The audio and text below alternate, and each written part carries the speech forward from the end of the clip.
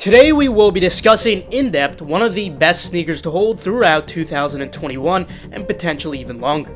After making my video regarding the best sneakers to hold in general, a lot of you guys requested that I further discuss some of the more specific ones in depth. Therefore, I have decided to turn this into a series along with the hold or sell videos. I'll discuss some of the holds that I feel to have some of the best hold value of all. Without wasting any of your guys' time, the sneaker that we will be discussing today is the Jordan 1 Banned Grade School Mid specifically, and why I feel they have potential to be one of the most profitable holds margin-wise. There are numerous other holds that may be just as or even more profitable than these, and that's why I have decided to make this a series because there are many that I do want to discuss with you. To preface this, if you guys enjoy these types of videos regarding the market, reselling, or even how to acquire these limited products, be sure to subscribe and enable post notifications just so you're always 100% updated. Furthermore, for more urgent updates like shock drops, raffle lists, site lists, etc., follow my Twitter, KeithAdam10, and personals for you. This way, you're always in the loop 24-7 whenever there is a restock or drop, etc., such as when I tweeted the link for the Bodega Dunk Drop. Shout out to all you guys who did cop from the post on Twitter, and of course, shout out to the Endurance members who feasted as well with the use of our free provided software for auto carding and auto filling. Reminder that the restock will be Friday,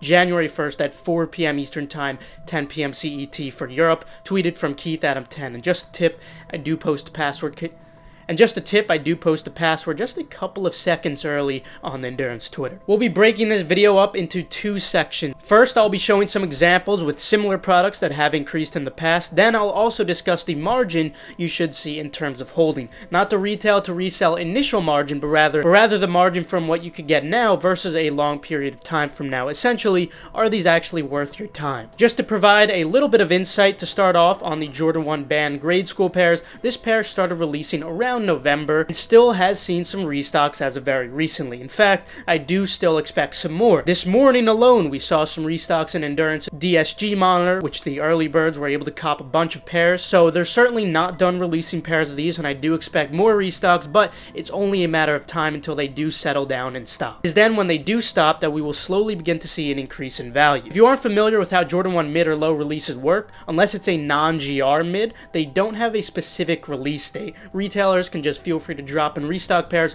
whenever they get pairs and whenever they decide to drop them. This usually lasts a couple of months rather than a normal drop which is just set for one day and a couple of restocks after that. I really want you guys to note the massive sale volume on these that we're seeing, in addition to the massive amount of bids in general. There is evidently a significant amount of demand for these, but of course, there is an influx in stock and plenty of quick sellers since pairs are still continuing to drop. This will eventually begin to change when pairs do stop restocking though. Meanwhile, while the demand, on the other hand, won't change. And this certainly is understandable considering the massive demand for Jordan 1 mids in 2018 to 2021. Not to mention, this is an iconic classic colorway, the banned Jordan 1 colorway. Let's take a look at how some other grade school Jordan 1 mids have performed in the past with favorable colorways that have already started off as profitable, such as these, even though it's only about lunch money. For example, let's take a look at the Jordan 1 mid grade school Shadow. These started dropping around the end of September and bottomed out around the start of mid-November.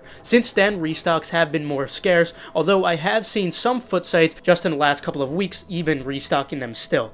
So these aren't even completely done yet, but they have already started increasing in value to about the 200 to 230 range. It's worth noting that these were more limited though. Moving on, checking out a grade school mid with high demand but more stock on the other hand, we have the Jordan 1 mid Chicago toe. These restocked for a very long time and there were multiple times in spring 2020 that these were definitely easy cops manually. I'd say these are most similar to the banned Jordan 1 situation since they have very high stock, similar to the banned 1 grade school, and a high demanded colorway as well. In fact, there was so much stock initially that they bottomed out just weeks after the starting release. These bottomed out at around $10 over retail, so you were able to make a little bit of lunch money or so without fees, nothing too notable. Since then, they have already done more than double in value though. Had a similar situation with the Jordan 1 Mid Chicago Heel Grade School. These bottomed out pretty quick, just like the Chicago Toe and Banned Mid did. Now they have done more than double as well. Looking at one of the best case scenarios, on the other hand, the Smoke Gray Mids bottomed out at around 130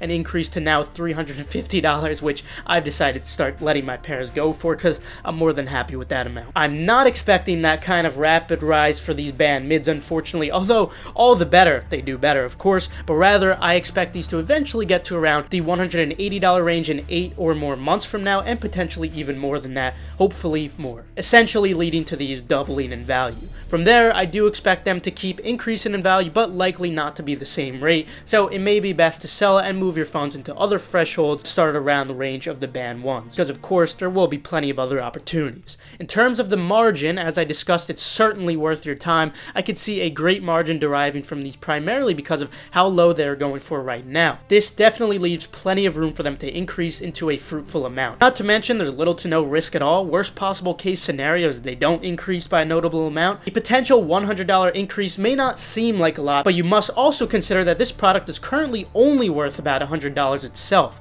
This allows you to purchase multiple pairs of these at around the same budget you would with a more hyped product. That's why you must think of holds proportionally. It's something I stress in all of my hold or sell videos. While yes, a limited sneaker may go up more than this, perhaps even $150 for example, if it's already going for $600, well, that's not exactly the best margin proportionally, is it? Wouldn't you rather purchase five of the pairs that are going to be going up $100 perhaps each in 8 to 12 months or so, rather than purchasing just one $600 pair that will go up $50 more than that one single pair alone? Now, obviously, there's no guarantees when it comes to this, and this video is not financial advice. I'm simply explaining what I'm personally doing with all of my banned grade school pairs and why I feel they are one of the best holds of 2021 at this current price, based off of everything I've mentioned and showed you guys today. That said, there are numerous other opportunities very similar to this, so if you did enjoy this video, leave a like and comment if so, so I know to keep a series going for you guys when it comes to these types of holds. But anyway, that will conclude it for today. Subscribe and enable post notifications. Stay 100% updated on every profitable sneaker, and remember the limited endurance restock will be Friday, January 1st